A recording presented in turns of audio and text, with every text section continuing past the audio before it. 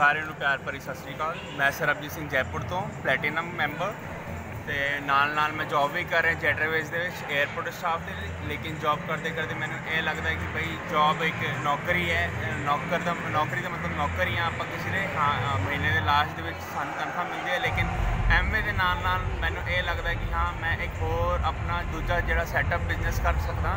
ਕਿਉਂਕਿ ਅੱਜ ਜਿਹੜੀ ਇੰਡੀਆ ਦੀ ਹਾਲਤ ਹੈਗੀ ਹੈ, ਇਹ ਬਹੁਤ ਹੀ ਸੌਖੀ ਨਹੀਂ ਹੈ, ਔਖੀ ਹੈ।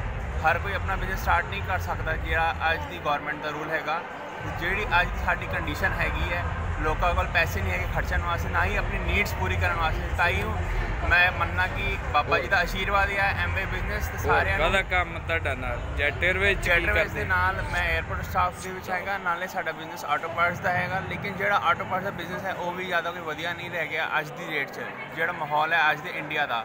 ਉਸ ਨੂੰ ਵੇਖਦੇ ਹੋਏ ਐਮਏ ਬਿਜ਼ਨਸ ਜਿਹੜੀ ਹੈ ਸਭ ਤੋਂ ਬੈਸਟ ਵਰਲਡ ਦੀ ਬੈਸਟ ਓਪਰਚੁਨਿਟੀ ਹੈਗੀ ਹੈ। ਹੁਣ ਤੁਸੀਂ ਵਰਲਡ ਘੁੰਮਦਾ ਹੈ ਵਰਲਡ ਦੀ ਬੈਸਟ ਓਪਰਚੁਨਿਟੀ ਹੈਗੀ ਹੈ। ਔਰ ਸਭ ਤੋਂ ਵਧੀਆ ਗੱਲ ਇਹ ਹੈ ਕਿ ਸਭ ਤੋਂ ਵੱਡਾ ਪਿਨ ਜਿਹੜਾ ਇੰਡੀਆ ਦੇ ਵਿੱਚ ਐਮਬੇ ਦੇ ਵਿੱਚ ਹੈਗਾ ਉਹ ਇੱਕ ਸਰਦਾਰ ਦੇ ਕੋਲ ਹੈ ਹਰ ਡਾਕਟਰ ਹਰਭਜਨ ਸਿੰਘ ਬ੍ਰੈਚ ਜਿਹੜੇ ਕਰਾਊਨ ਹੈਗੇ ਆ।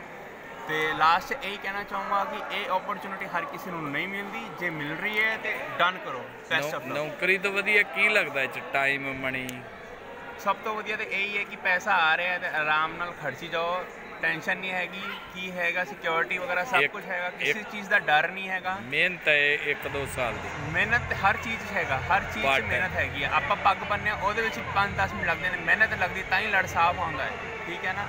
ਜੇ ਕੁਝ ਪਾਣਾ ਪਰ ਇਹਦੇ ਚ ਇੱਕੋ ਵਾਰੀ ਕਰਨੀ ਮਿਹਨਤ। ਇਹ ਚ ਇੱਕੋ ਵਾਰੀ। ਇਹ 'ਚ ਜ਼ਿਆਦਾ ਤੋਂ ਲੈ ਕੇ ਮੇਰਾ ਖਿਆਲ ਹੈ ਅੱਜ ਦੀ ਡੇਟ 'ਚ ਜਿਹੜੇ ਹੁਣ ਨਈ ਰੂਲਸ ਹੈ ਪ੍ਰਿੰਸੀਪਲਸ ਹੈ ਉਹਨੂੰ ਵੇਖਦੇ ਹੋਏ 2 ਤੋਂ 3 ਸਾਲ ਕੰਟੀਨਿਊਸਲੀ ਅਗਰ ਤੁਸੀਂ ਮਿਹਨਤ ਕਰਦੇ ਹੋ ਡਟ ਕੇ ਰਹਿੰਦੇ ਹੋ ਇਸ ਬਿਜ਼ਨਸ 'ਚ ਤਾਂ ਫੱਟੇ ਚੱਕਦੇ ਹੋ। ਕਿੰਨੇ ਲੱਖ ਬਣ ਸਕਦਾ?